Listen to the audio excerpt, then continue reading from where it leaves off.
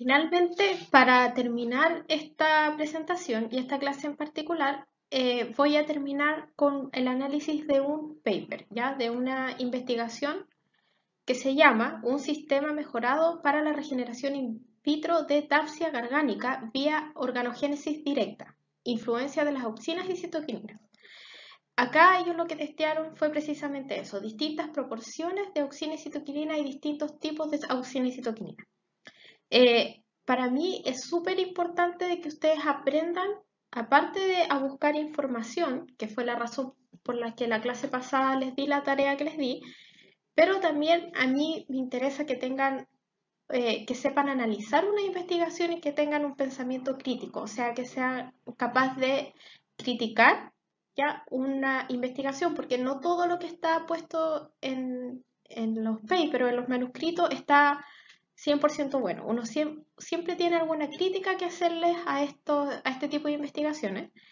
Eh, este paper o este manuscrito yo se los muestro principalmente por esa razón, porque, porque tengo varias críticas que hacerle y me gustaría que ustedes pudieran leerlo, yo los voy a subir a Lucampus y que me dijeran eh, eventualmente si ustedes encontraron las mismas pifias en términos coloquiales que encontré yo y, o algo más porque eh, yo les voy a pedir en las pruebas sobre todo que hagan este tipo de ejercicios, ¿ya? Que lean algo y que sean capaces de eh, generar una crítica constructiva, obviamente.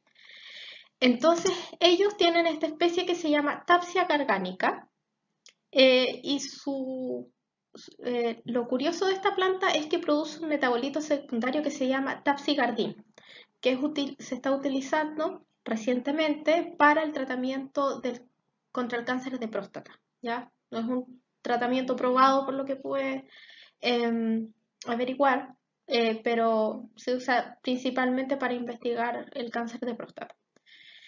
Entonces ellos argumentan que en este caso el cultivo in vitro de tapsia orgánica sería para extraer eh, de mejor manera este compuesto y eh, evitar lo, que ellos preferirían obtener sería em, eh, organogénesis directa, o sea, la diferenciación de tallos de una manera directa, o sea, con la ausencia de, la formación de callo. ¿Por qué? Por, una, eh, por la presencia o la posible presencia de un, eh, de un evento que se llama variación somaclonal, que lo vamos a ver muy o, más en profundidad cuando veamos la embriogénesis somática. Pero a grandes rasgos, yo les había mencionado que uno de los principales objetivos del cultivo in vitro era obtener material clonal, o sea, que genéticamente sea igual al de mi planta madre, ¿ya? Porque esa planta madre que yo escogí tiene ciertas características eh, deseables. Eh, sin embargo, eh, el cultivo in vitro, si bien es la principal técnica para producir plantas clonales, no es 100% efectiva y puede ocurrir algo que se llama variación somaclonal que puede ser variación en el número de cromosomas, pueden ser mutaciones a nivel em, de, bases, ya mutaciones puntuales, pueden ser inserciones, deleciones.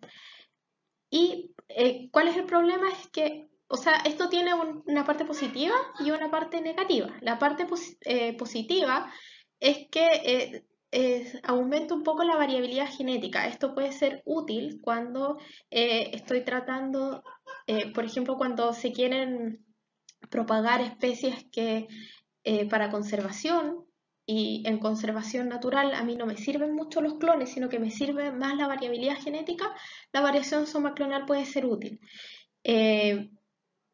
también puede ser buena porque a veces se pueden eh, generar características deseables en la planta, a lo mejor resistencia a enfermedades o algún estrés biótico o abiótico. Pero también tiene una parte negativa que es que eh, me destruye el principal propósito eh, del cultivo in vitro, que es obtener plantas clonales. la variación somaclonal incluye o, se produce con más em, con más frecuencia cuando se realiza embriogénesis somática, por eso lo vamos a ver un poco más adelante. Eh, la, embriogénesis somática generalmente requiere la inducción de un callo previo, ¿ya? Y ahí es cuando eh, eh, mayormente puede ocurrir variación somaclonal y también ocurre cuando se utiliza la, la, la, auxina 2,4-D, que yo les dije que era sintética, se utiliza mucho para la formación de callos, pero también tiene mayor probabilidad de inducir variación somaclonal.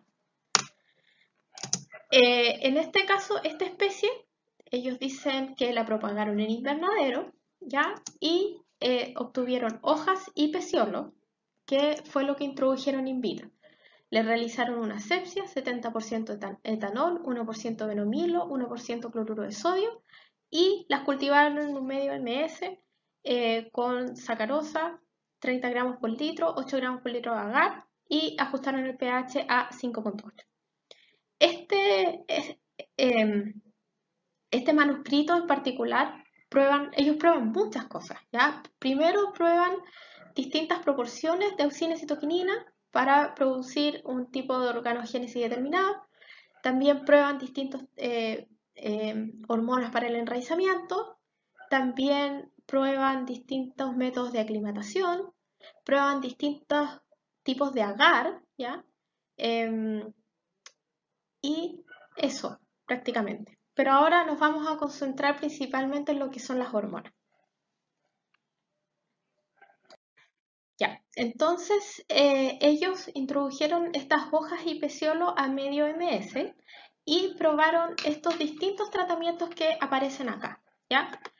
Eh, si bien, como pueden ver, no se guiaron mucho por lo que es la teoría, ¿ya? si ellos querían producir eh, organogénesis directa de tallo, lo más obvio es que tuviesen una proporción de citoquininas más alta, ¿cierto? Eso es lo que vimos en la clase anterior. Eh, pero ellos probaron, por ejemplo, este tratamiento, un miligramo de eh, ácido indolacético, un miligramo de metilaminopurina. O sea, las proporciones ahí de oxina y citoquinina son las mismas. Pero bueno, eh, acá, por ejemplo, aumentaron la proporción de citoquinina, acá es la misma proporción, pero cambiaron la citoquinina a utilizar. Acá eh, por alguna razón la proporción es distinta y utilizaron, o sea, es más auxina que citoquinina y utilizaron 2,4-D. Acá utilizaron solo quinetina y estos que están en rojo, ellos eh, mencionan que tenían algunos resultados previos que les había eh, indicado que estos eran tratamientos que producían algún tipo de respuesta organogénica, estos dos que están en rojo acá. ¿Ya?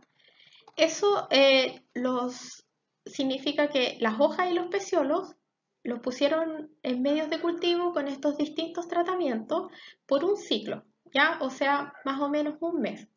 Y después los eh, cultivos que produjeron algún tipo de respuesta organogénica, y ahí ellos dicen, eh, puede ser un callo o puede ser un tallo, esos los pasaron a un segundo ciclo, ¿ya? De proliferación que eh, tenía estos tratamientos. Específicamente, este tratamiento de acá, tampoco indican por qué, lo pasaron a este medio con 2 miligramos por litro de 2,4-D y 1 miligramo por litro de benzina. Eh, también ellos después indican que eh, de los tratamientos que lograron obtener tallos, ya sea de forma directa o indirecta, probaron ácido indolacético, ácido naftalenacético y ácido indolbutírico, o sea, tres auxinas distintas para eh, probar el enraizamiento in vitro. ¿ya? Un miligramo por litro de cada una de ellas. Ya, acá están los, primeros resultados de, em, de, este paper. Eh, y acá está mi primera crítica al paper, porque acá dice respuesta morfogénica de explantos de hoja.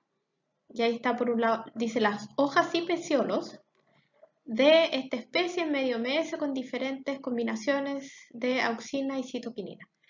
Em, yo me preguntaría acá, bueno, ¿para qué eh, introdujeron como explanto hoja y peciolo por separado si después me van a, entregar los resultados todos juntos? O sea, yo creo que la idea em, de, este, de esta investigación a porque ellos lo que quieren es eh, generar un protocolo de propagación para esta especie.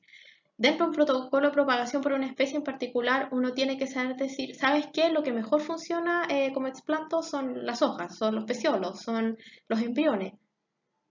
Entonces, pero acá todos todo juntos, la verdad es que no es, mi primera crítica. Eh, primero, ellos eh, indican que el medio con 2,4-D, 2,4-D em, y pensilaminopurina, si se fijan acá hay, una, hay 2 miligramos por, por litro de auxina y 1 miligramo por litro de citoquinina, o sea, tenemos más auxina que citoquinina. Y ellos dicen que en ese caso eh, lo, lo, que produjeron fue un callo embriogénico. ¿Qué es lo que es un callo embriogénico? Que primero significa que primero formamos un callo y que a partir de ese callo se van a diferenciar embriones, ¿ya? Esta es mi segunda crítica al paper, que es eh, por qué utilizaron una hormona que se utiliza comúnmente para producir callo embriogénico. ¿Y por qué decidieron utilizar mayor proporción de auxina que de citoquinina, sabiendo que la citoquinina es lo utilizado para diferenciar tallo? Eh, acá tienen em, el resultado esperado de caulogénesis directa, ¿ya? o sea, del explanto que ellos ingresaron al medio de cultivo se diferenciaron directamente tallos sin la necesidad de producir un callo primero. Acá ellos dicen que 24% eh, de los explantos regeneraron eh, tallos adventicios y esto sin la necesidad de, callo. Esto sucedió a los 21 días una vez ingresado el material. 0% eh, de los explantos generaron un callo, ¿ya? O sea, acá ellos obtuvieron netamente organogénesis directa, que es lo que ellos dijeron en un comienzo que era lo que estaban buscando. También esto se condice con la literatura que indica que las citoquininas son utilizadas principalmente para diferenciar tallo y no las auxinas, ¿ya? O sea, eso este era uno de los tratamientos por los cuales podrían haber iniciado su investigación. Y eh, finalmente, este tratamiento que ellos llamaban tratamiento control, porque ya les había funcionado en, en investigaciones anteriores, que también tenía una proporción más alta de citoquinina, eh, produjo caulogénesis directa sin la formación de, tallo, que son estos que aparecen acá, pero también fueron capaces de diferenciar eh, tallo a partir de callo, o sea, una caulogénesis indirecta. Esta es mi segunda crítica al, o tercera crítica a este paper porque en estricto rigor un tratamiento control control sería un medio de cultivo sin la adición de ningún tipo de hormona, ¿ya? Y básicamente ellos obtuvieron eh, lo que deseaban, o sea, la caulogénesis directa eh, con un tratamiento que tenía solamente 2, eh, gramos, 2 miligramos por litro de quinetina, o sea, de una citoquinina. Ya, finalmente este es otro de los resultados del paper y mi cuarta crítica es eh, la tabla anterior mostraba qué el porcentaje de los, de los explantos totales que ellos habían ingresado al cultivo in vitro, qué porcentaje había eh, presentado callo o tallo directo, etc. Em, este presenta eh, de esos tratamientos em, las características morfológicas, por así decirlo, de los tallos que ellos obtuvieron. Eh, sin embargo, si recuerdan al principio de, la, de, esta, de este paper, ellos mencionaban que tenían un primer ciclo eh, de, cultivo, ya donde tenían varios tratamientos, y después tenían un segundo ciclo de cultivo, eh, donde tenían otros tratamientos. Ahora, estos resultados son del primer y segundo ciclo, yo me imagino que son del segundo ciclo, pero no lo dicen, ¿ya? Cuando uno escribe un paper o lee algo, eh, este tipo de dudas tienen que ser aclaradas, o sea, ¿a qué, a corresponde esta, esta medición? Em, acá, primero, se obtiene que este tratamiento, que tiene mayor proporción de citoquinina, eh, produce un mayor número de, de, tallos, ¿ya? Y que, bueno, morfológicamente son prácticamente todos similares y una formación de callo del 10%, ¿ya? También lo que les importa es, eh, o ellos midieron, una ocurrencia de hiperhidricidad del 7%, que es bastante bajo. Eh, si bien no hemos profundizado en lo que es hiperhidricidad, pero yo ya les he contado que son plantas morfológicamente muy frágiles o de muy mala calidad, eh, que generalmente no sobreviven a condiciones ex vitro. Entonces, obtener un porcentaje de hiperhidricidad más bajo es algo bueno. Em, y también eh, un porcentaje de, o un número de tallos mayor o dentro de los mayores eh, con el tratamiento que ya habíamos visto anteriormente, que es solamente 2 miligramos por litro de quinetina, o sea, solamente una citoquinina. También un, sobre todo acá, un porcentaje de callo muy bajo, o sea, solamente un 3% de los explantos produjeron callo y un porcentaje de hiperhidricidad eh, muy bajo. Eh, acá podemos ver en, este, en esta imagen ya la formación eh, o la diferenciación de microtallos, ¿ya? cada uno de estos es un microtallo, eh, pero no, no, existe acá abajo una formación de callo previo. Eh, podríamos concluir que este es el mejor tratamiento porque se obtiene especialmente lo que ellos necesitan, ¿ya? que es la, la organogénesis de tallo de forma directa. ¿ya? Finalmente yo también les dije que ellos habían probado tres auxinas, ácido indobutírico, ácido indolacético y ácido naftalenacético, un miligramo por litro para eh, enraizar in vitro. Ellos mencionan que em, ningún tratamiento con auxinas tuvo éxito, o sea, no tuvieron enraizamiento in vitro. Así todo, ellos después hacen una aclimatación ex vitro eh, y eh, en, su, en su manuscrito ellos presentan esta fotografía, o sea, de una planta propiamente tal, desarrollada en condiciones ex vitro.